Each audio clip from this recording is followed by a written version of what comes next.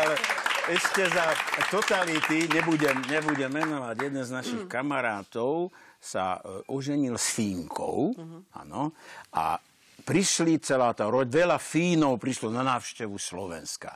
A vraj na týždeň prišli, že sa ubytovali v tom moteli vo východnej, to niekedy v 70 80 rokoch, sadli si a teraz každý niečo doniesol tak to pozlievali do krčahu, všetko víno, pivo.